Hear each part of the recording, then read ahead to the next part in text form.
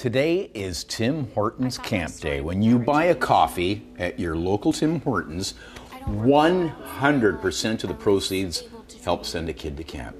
Gynette Smith is a Tim Hortons restaurant owner in uh, Niagara, actually at several locations, and uh, also a camp director. And we're also joined by Bitisho Muma, part of the Youth Advisory Council of the Tim Horton Foundation. Thanks both for joining us.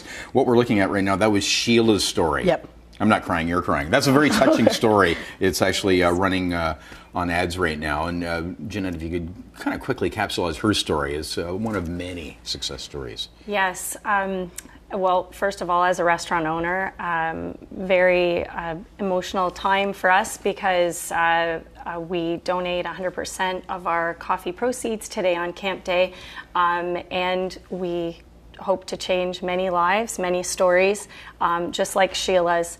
Um, we see many kids throughout the seven camps across uh, North America. There's a kind of a this PSA is good because there's kind of a perception thing. We think Tim Hortons camp, oh, fun camp. This is serious stuff. The real programs that are changing lives. Yes, we are one of the uh, multi-year um, youth programs um, that do make a definite change in, in our students and our youth lives. Um, we're very proud of it.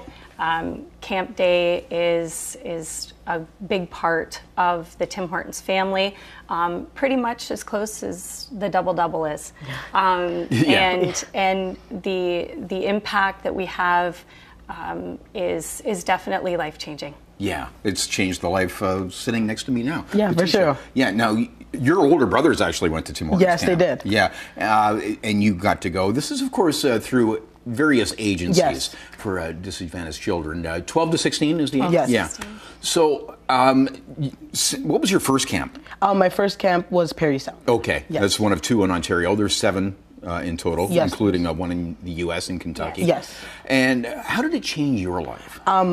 It changed my life through um, making my life more positive and also the aspect of setting goals and how they're attainable and that sometimes you're gonna have to reconfigure your goals but never be afraid to and not to um, care about what other people think in a way. It's just Yeah. your own thing because uh, those outside voices um, make you lose sight of what you truly want for sure. Yeah, you went uh, f- from being uh, you know, just attending camp. You're Yeah. actually on the youth advisory Yes, council now. Yes, I am. Yeah, so you're advising for programs at all the camps. Yes. How did that come about?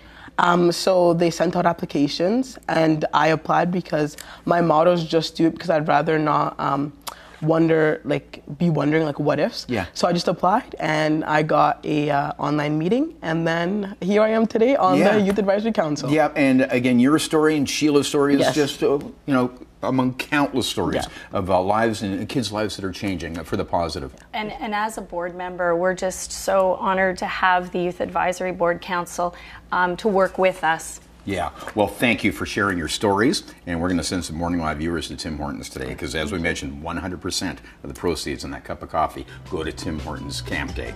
Thank you so much, You're both. welcome. Thank you.